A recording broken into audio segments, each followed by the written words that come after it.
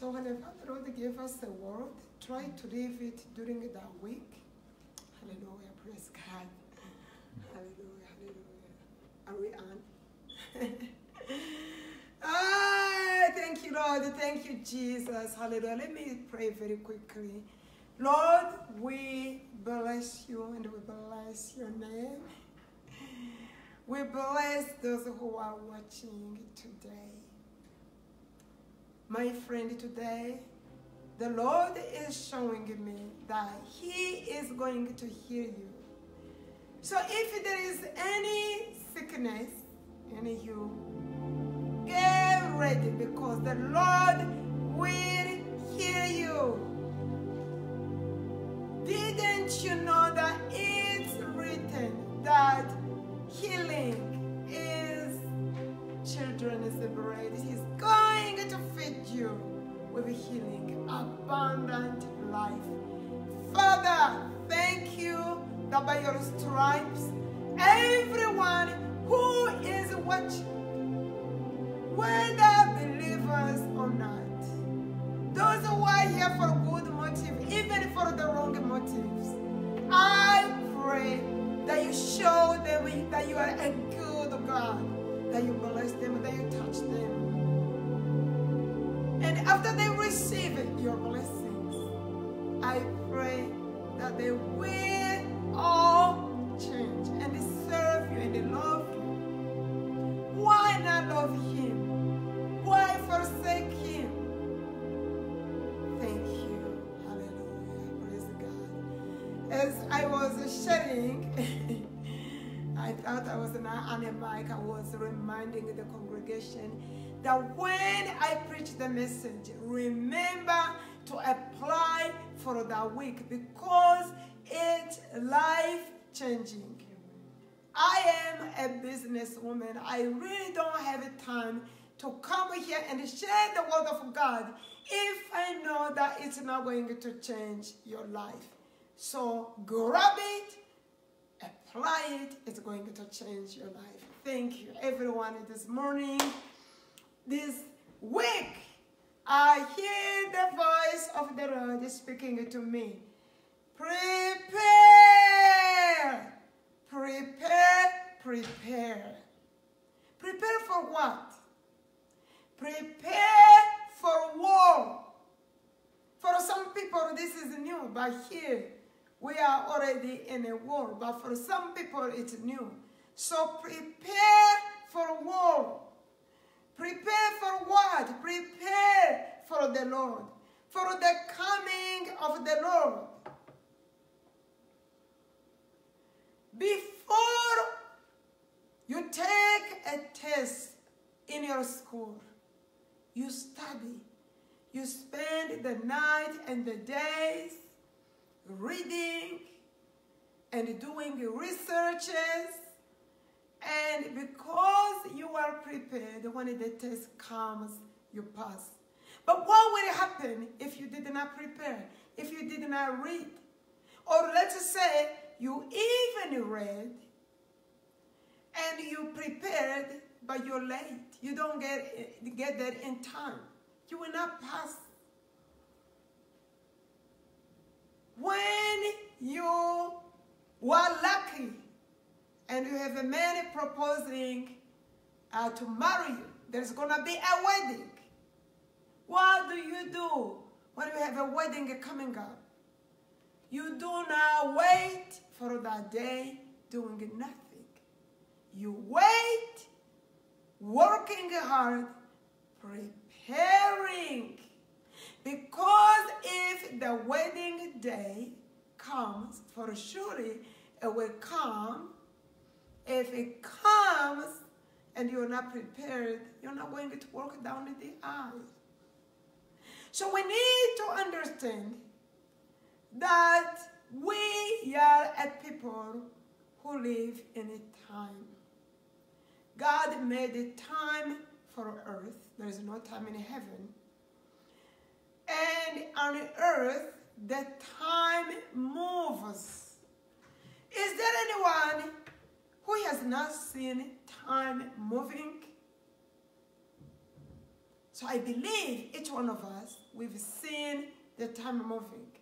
This means we need also to move with time, preparing, taking action.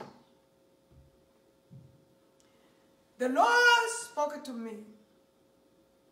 There are battles ahead of you. Some of you already have entered the, these, these battles. Believe it or not, we have entered the battles of the last days. It's almost like we are fighting face to face with the devil, and he is determined as much as we are, even much more than those who are awakened, because in these days, people are in a war they do not even know. Isn't that sad? that you are in a war and you do not know. You have an enemy living within your household, but you do not know. What is the enemy? The enemy is the liberal views. The views that will end up taking you to hell. The enemies are those wicked people who give themselves over to the devil to be used by the enemy. Let's go very quickly to the book of Revelation, chapter 19. I want to show you that there are two armies. And God has already revealed to me that these armies are in a confrontational stage right now on earth. Revelation chapter 19, beginning with verse 11 through 14. And I saw heaven opened, and behold, a white horse, and he who sat on it is called Faithful and True. And in righteousness he judges and wages war. His eyes are a flame of fire, and his head are many diadems. And he has a name written on him which no one knows except himself. He is clothed with a robe dipped in blood, and his name is called the Word of God. And the armies which are in heaven, clothed in fine linen, white and clean, were following him on white horses. Hallelujah. Jesus the King he is the chief commander. He heads the army. Hallelujah. And he is called the word of God. We see him and the armies which are in heaven, they were following after him. Let me say, if you belong to God and you're a prayer warrior, you are a faithful prayer warrior, you are together with these armies and we are all behind Jesus, following in his footsteps, obeying his command because there is a battle ahead of us. Now, we will continue to read from verse 17 to 19. Then I saw an angel standing in the sun, and he cried out with a loud voice, saying to all the birds which are flying in mid heaven, Come, assemble for the great supper of God, so that you may eat the flesh of kings, and the flesh of commanders, and the flesh of the mighty men, and the flesh of horses, and of those who sit on them, and the flesh of all men, both free men and slaves, and small and great. And I saw the beast and the kings of the earth and their armies assembled to make war against him who sat on the horse and against his army. We just saw one army. It's a holy army. End times holy army. In here, verse 17 through 19, we see that there is another group, uh, there is another army. There can be a war unless there is at least two teams. So the second team is the Antichrist, the Antichrist who is anti God, who works for the devil. And it says here, I saw the beast and the kings of the earth and their armies assembled to make war. So, in the same way, God comes with the holy ones. God comes with the holy ones.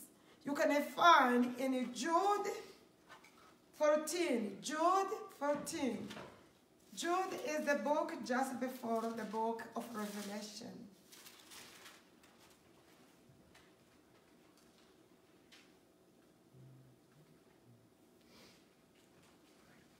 Let's read 14 to 16.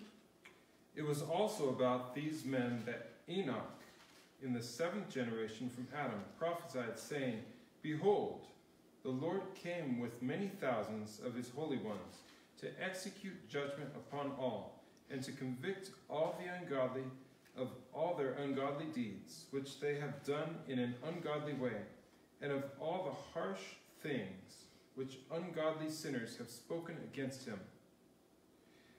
These are grumblers, finding fault, following after, after their own lusts. They speak arrogantly, flattering people for the sake of gaining an advantage. Thank you. So here we see the Holy Army. Uh, in verse 14, Enoch, uh, who prophesied in the seventh generation from Adam, you can read the story of Enoch. There is a book about him. And also, uh, you can read that in Genesis chapter 5. And he was a righteous man, a man who never seen death, because he was so righteous, so longing to be with God.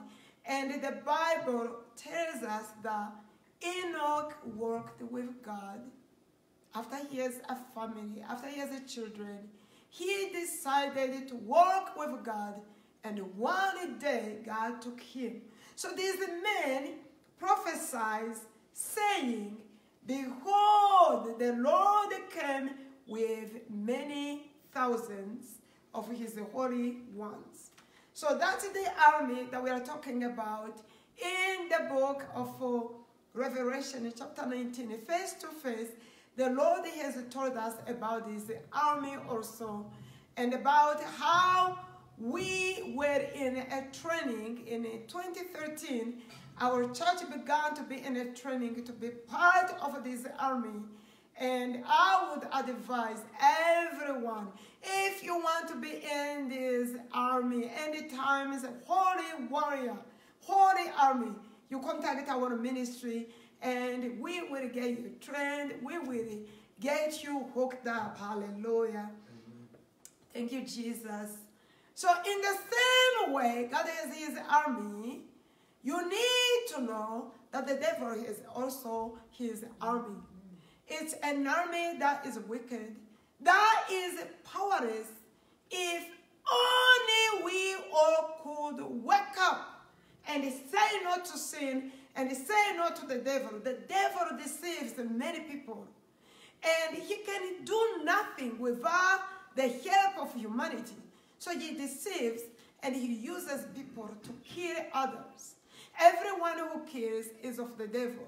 The enemy uses people to hurt other people and to practice all kinds of wickedness in order to inflict misery upon humanity.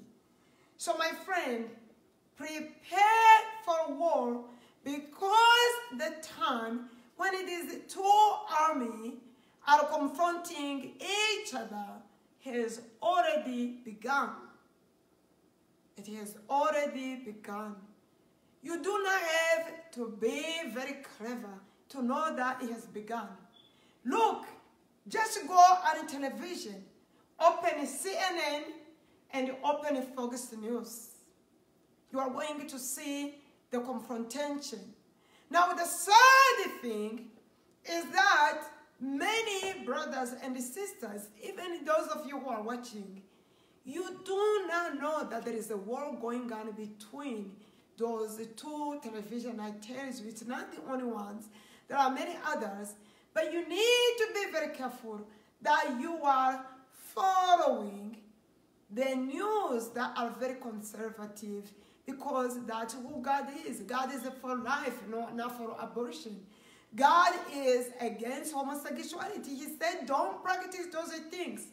But the other people, they are like, let's everybody, let's tolerate everyone.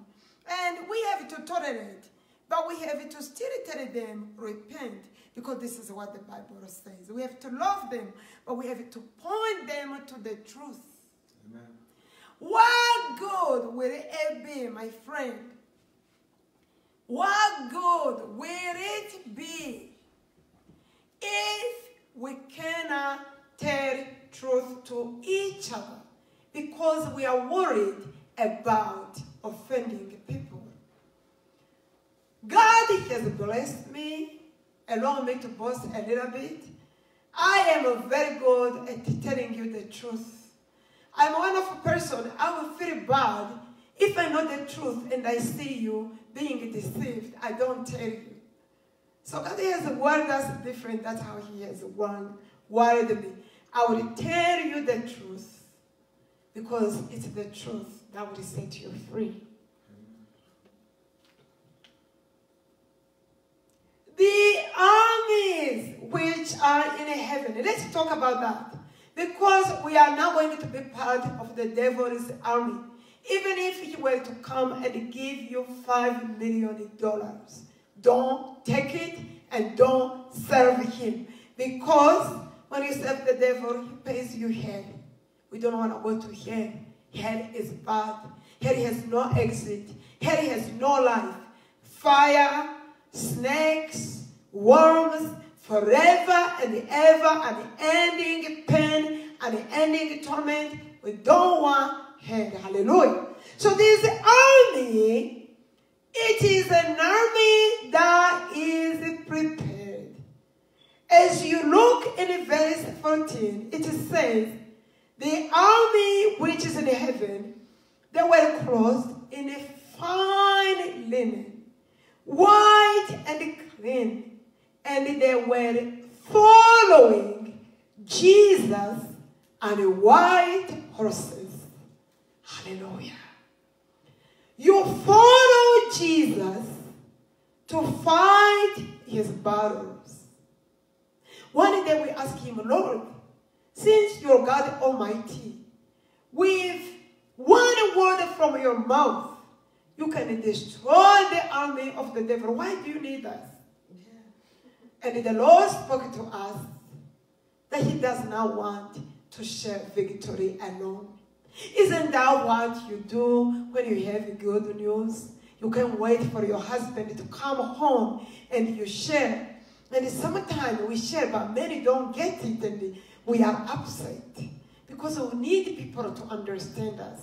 We need people to share the joy, sometimes to share the pain as well. So this army in heaven, they are clothed in a fine linen. They are ready. The Bible later on tells us the fine linen is the righteous act of the saints. Did you know that everything that you do, whether small or big, it gets written in the books of heaven? Did you know that every act, every deed, every word that we speak is recorded in heaven by God? I will read this for us. In the book of Ecclesiastes 12, the last verse says, let me start from, from 13 so that we have a good understanding. The conclusion when all has been heard is this. Fear God and keep his commandments because this applies to every person, for God will bring every act to judgment, everything which is hidden, whether it's good or evil. How will God bring every act of, uh, you know, we do to judgment unless He knows? So, my friend, you need to know that there are invisible angels who write everything that we do, and God will pay according to what every person has done. This week, uh, there was warfare, and one of the prayer warriors here, she decided to fast for that situation for three days. No juice, no food, maybe only water. And later on, I began to feel sorry for her. You know, when you're cooking and someone is fasting in your home, I really don't like it. I usually take my plate and run to my room. Uh, but of course, when we fast, many times the Lord really help us. And when I brought the issue, Lord, she's hungry.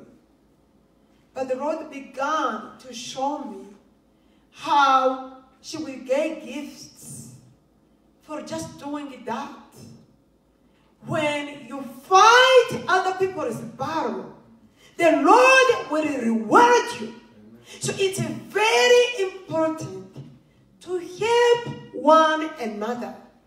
If your brother is sick, put everything down and go to the hospital, go see them. When someone is in a prison, go visit them. When they're hungry, bring them in, feed them. When they're naked, clothe them. It's written in the book of Matthew 25 that when you did those things to them, you did it unto the Lord. So, my friend, don't say you have not seen Jesus because you see Jesus every single day.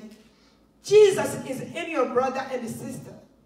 Jesus is in many homeless you meet. Jesus is in those people who are desperate, who are going through testing and trials. This past week, I was looking at the books, different books, and there is this one that caught my attention.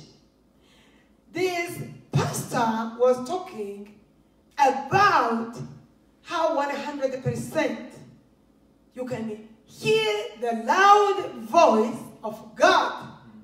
So that caught my attention. I said, wait a minute. He's lying. He's not telling the truth. I pick the book. I read. And he says in the book, to all of you who want to hear the loud of Abba Papa or Jesus, just pick your Bible and begin to read it out loud. Oh my goodness. I was like, I agree. I agree. Hallelujah. Hallelujah. Read it loud. So this army, they're wearing fine linen, white and clean. The Bible tells us the fine linen, the white and clean linen is the righteous acts of the saints. It's very important that when the Lord finds you, he does not find you in the state of the church of Laodicea. He told them, you are naked. It doesn't mean They did not have clothes. In fact, the Bible tells us they were clothed worthily. But the Lord is talking about the righteous acts. Doing what's right and going beyond the normal. Going extra mile in your loving kindness. Going in, uh, going an extra mile, helping people. Going extra mile, loving people praying for them, interceding for them. Thank you, Jesus. In order for this army to have this fine and clean linen, it's because they were ready.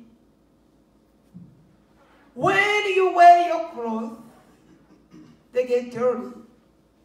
And before you wear them again, you are going to wash them, iron them, get them ready. Get them ready. So it's not possible to get those fine linen without being ready. The message today, please be ready. Even if you are a prayer warrior and you are praying many hours every single day, you should not stop there, but you should take a look at your life and get ready by living out scripture by going back to your first love and falling in love with Jesus. Do you remember the story of the virgins, ten virgins? It's in Matthew 25. Now, because time is short today, I will just tell you about the story and maybe we can read a verse or two.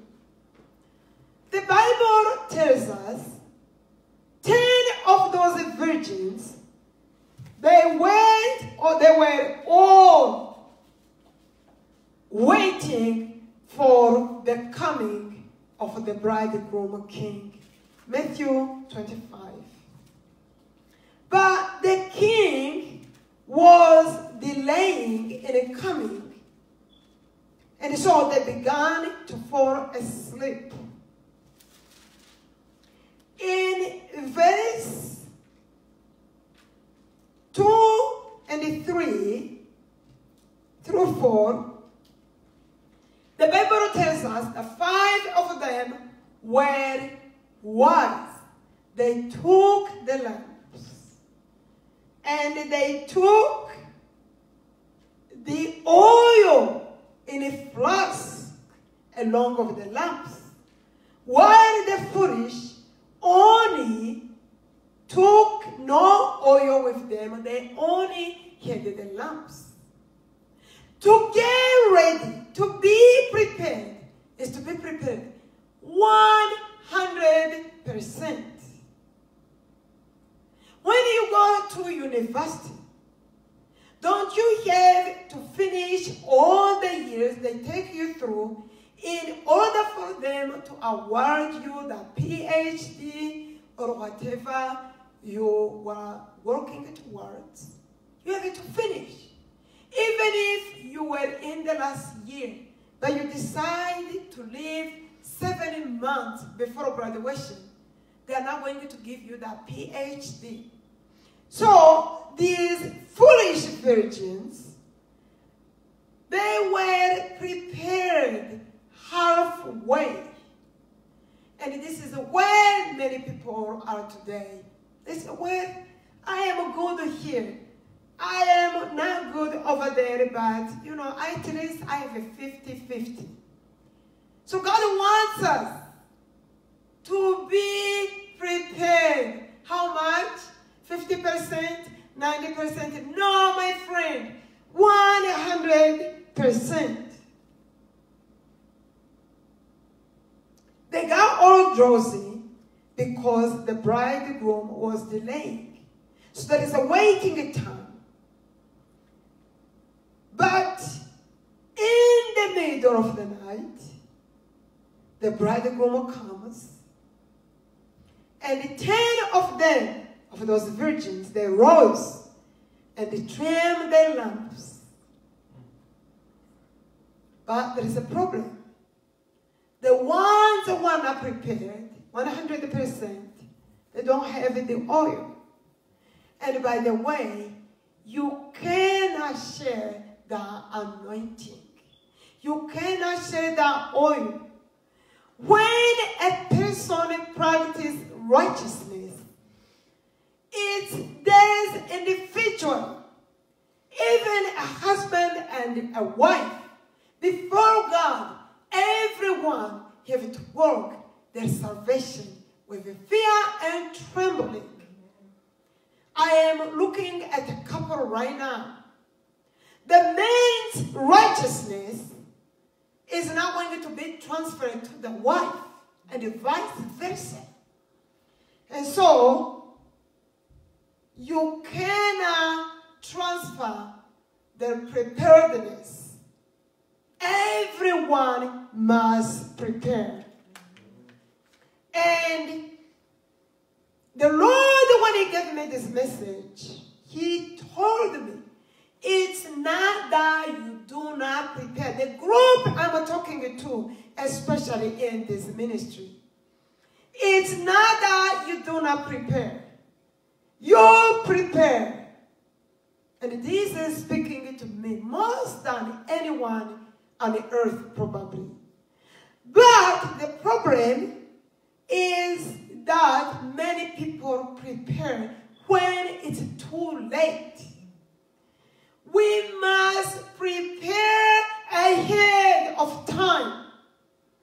Do not just wait for the time of prayer to repent for your sins. The moment that you are aware that there is a sin in your life, that's here coming your way. Don't wait. Do you when you have a pain in your body, wait until you finish work to take aspirin, ibuprofen? Don't you reach in your purse and you take it right away? So my friend, God said, tell my people, I am coming. Prepare ahead, my people. Prepare ahead of time.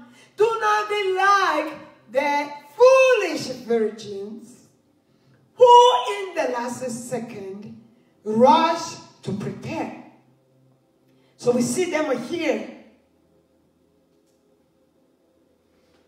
In Matthew 25,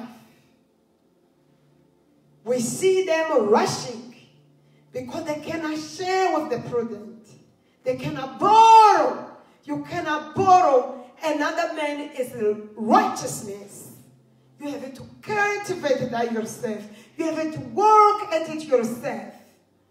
So in verse 10, we see them rushing, going to the store to buy the oil, to make the purchase. By the way, it will cost you to live righteously. When people do harm to you, what do you do? Do you harm them back? No. The Bible says, vengeance belongs to me.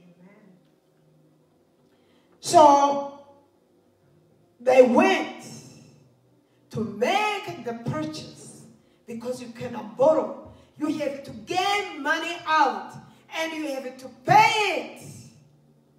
Individually, it will cost you to follow Christ, to walk in the purity and the holiness.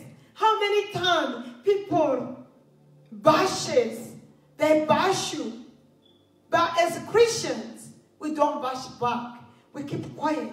We look up to heaven. We cry out to the Lord. So right there when you are crying to the Lord, and instead of retaliating, you're paying the price. They went to purchase, and when they were gone, the bridegroom came, and those who were ready, they went in with him to the wedding feast, and the door was shut. When the door is shut, is too late. They miss a great opportunity to go to the wedding feast with the king over nonsense, over not paying attention, not listening to the pastor, not preparing, not practicing the word of God. For this reason, the Bible says, you also must be ready because the Son of Man is coming at an hour which you do not know, you do not think he will. I have seen the way Jesus lives. Jesus is always ready to come back to earth. And season out of season, he won't give any excuse. In season out of season, the Lord spoke to me. He says, Tell my people to be ready. A person who is ready. When they are driving at the red light, they will hit the brakes and they will stop.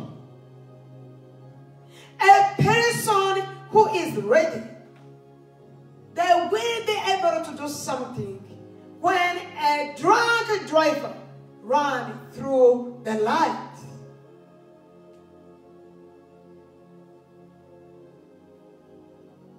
A person who is, who is ready,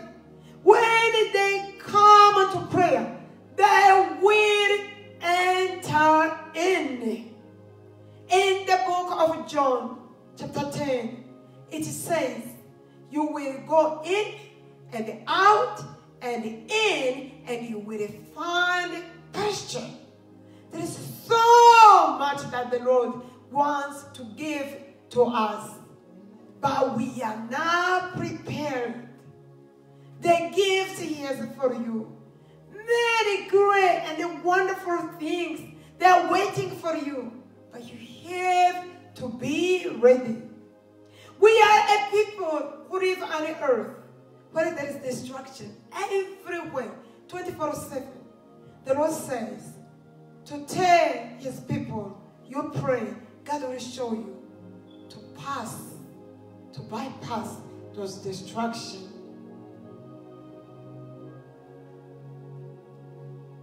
Even if, as a preacher, I study my sermon and know it well, I won't be able to deliver it if I am not prepared. Many times I have seen pastors who have studied well. They got it right. But the last minute destruction comes and they are on the phone 24 7. 24 7. By the time they get to the time of preaching, they are already full of the arguments of Facebook, Twitter, YouTube, you name it.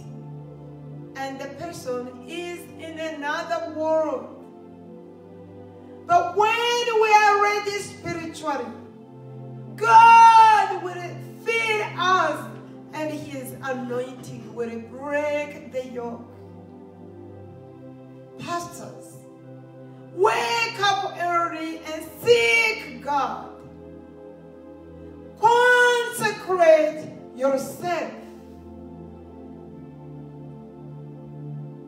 Consecrate yourself.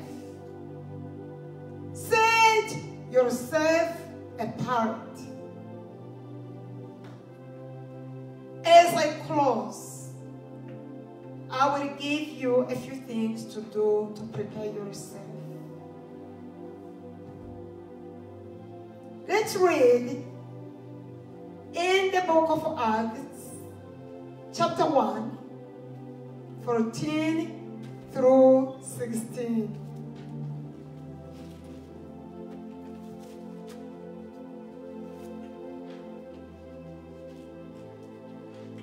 All with one mind were continually devoting themselves to prayer, along with the women, and Mary the mother of Jesus, and with his brothers. At this time Peter stood up in the midst of, his, of the brethren. A gathering of about 120 persons was there together, and said, Brethren, the scripture had to be fulfilled, which the Holy Spirit foretold by the mouth of David concerning Judas, who became a guide to those who arrested Jesus. For he was counted among us and received his share in this ministry. Hallelujah. Praise God. Thank you. I think that's good enough.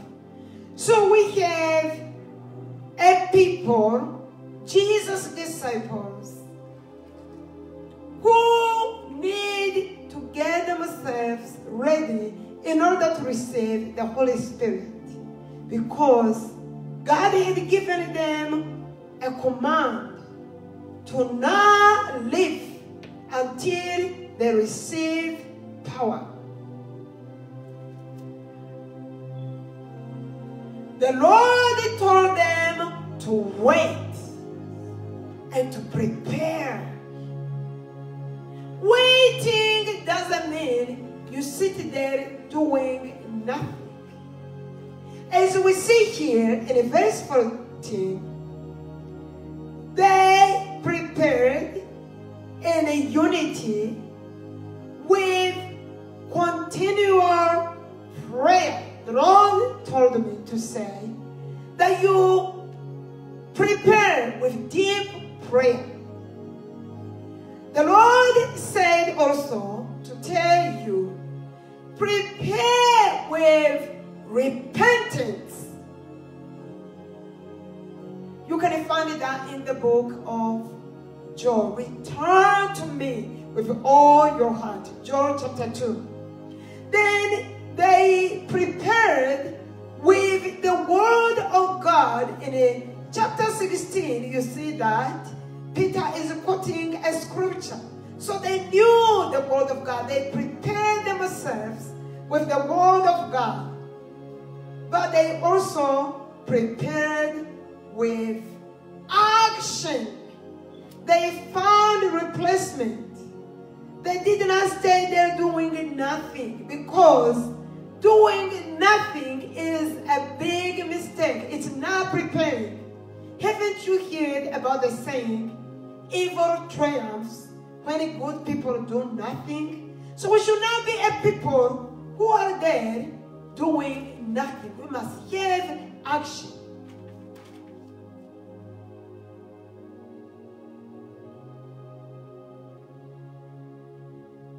When you have a surgery, you don't just show up and you say, Here I am. They give you instruction. You can eat at a certain time. Your stomach has to be empty. And so, because you follow that, you are ready to be operated on.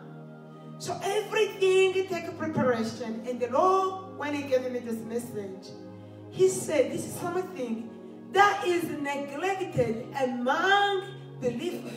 Do not be absent, absent-minded. Do not just be there saying, Well, I just show up, I just show up. Show up. Be on the alert. Be on the alert. Be sober. Be ready.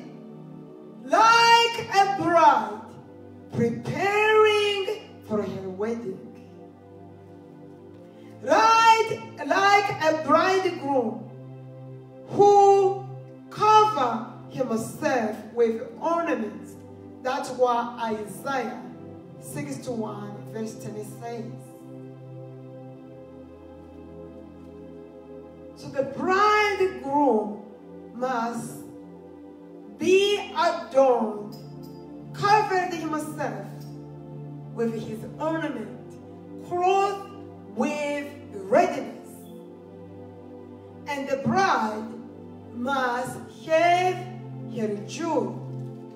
In Revelation chapter 19, we will close with this. After reading, please stand. We will pray. Revelation 19, verse 7 through 8. Let us rejoice and be glad and give the glory to him. For the marriage of the Lamb has come, and his bride has made herself ready. It was given to her to clothe herself in fine linen, bright and clean, for the fine linen is the righteous act of the saints. Hallelujah. Let us stand. Thank you. Hallelujah. Please increase the volume. Thank you, Lord. Hallelujah.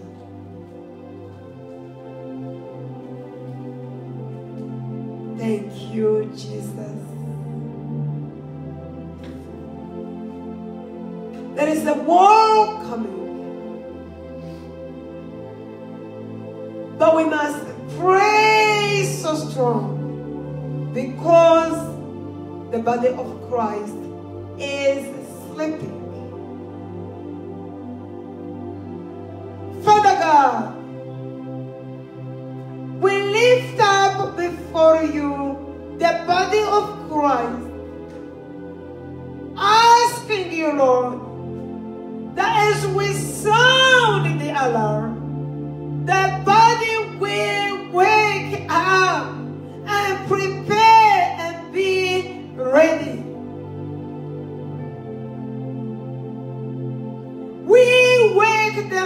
them up